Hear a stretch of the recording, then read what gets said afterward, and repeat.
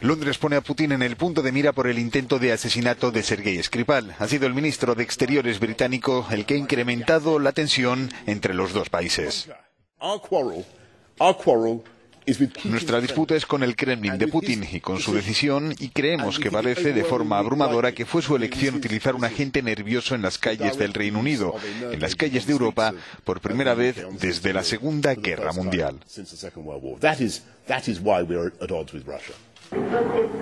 Rusia, por su parte, ha iniciado una investigación por el envenenamiento con gas neurotóxico de la hija de Skripal, que es ciudadana de este país. Además, el Kremlin asegura estar preparado para responder a la expulsión de 23 de sus diplomáticos del suelo británico con una medida similar.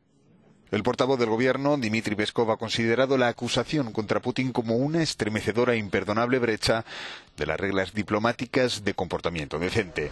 Las relaciones entre los dos países comenzaron a deteriorarse en 2006 por el asesinato del exagente del KGB Alexander Litvinenko con polonio, un elemento radioactivo.